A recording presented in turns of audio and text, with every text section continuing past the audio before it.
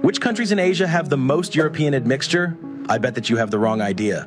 This ancient European admixture in Asia stems from Bronze Age corded ware Indo Europeans who were nomads and migrated to southern Russia and Kazakhstan. They spoke Proto Indo Iranian languages and formed Sintashta and Andronovo cultures. These Asians have most of their admixture. Surprisingly, West Iranics and most of Indians who speak the languages derived from these people are only in the fifth place, as they average between 10 and 20% of that ancestry.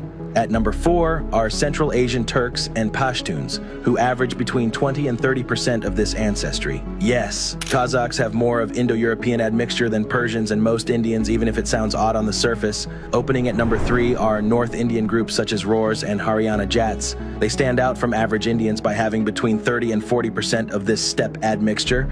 The second place goes to East Iranic groups such as Tajiks, Pamiris, and Yagnobis. Not only did they retain the languages closest to the ones spoken by Sintashta and Andronovo cultures, but they also retained between 40 and 50% of their admixture. And the people in Asia with most of Andronovo ancestry are the people that live in the same lands that they lived, such as Finno-Ugrians and Turks of the Volga-Ural area. Ethnicities like Bashkirs, Tatars, Chuvash, and Udmurt carry between 50 and 65% of Sintashta ancestry, with Udmurts also having the highest percentage of ginger people in the world.